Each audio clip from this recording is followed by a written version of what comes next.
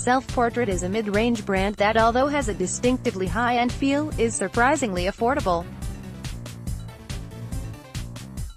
Loved by the Hollywood A-list, it's also coveted by royalty, and the Duchess of Cambridge is even a big fan.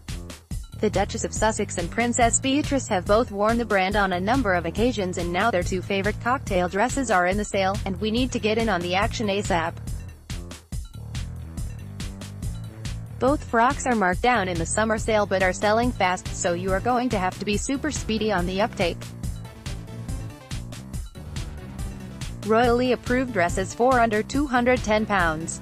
Yes please. Meghan wore a green dress by self-portrait in April Meghan Markle very nearly broke the internet in April when she attended the Invictus Games reception in London with then-fiancé Prince Harry. The former Suits star often wears neutral colors, so it was a huge shock to see her wearing a green floral midi dress by the brand, with a chic black blazer over the top.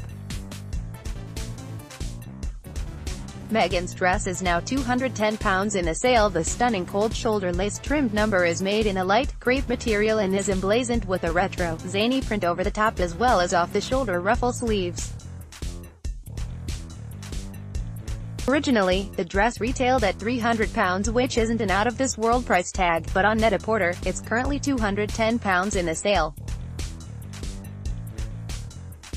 Run don't walk it's almost sold out.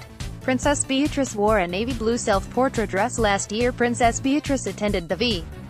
Beatrice's dress is now £175 in a sale The timeless design featured semi-sheer lace panels with a navy blue overlay and a body skimming cut.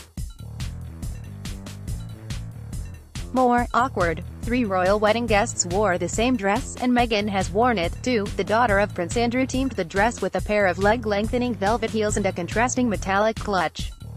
The dress originally cost £350, but on the Outnet, the frock is now a more purse-friendly £175, available in a small selection of sizes.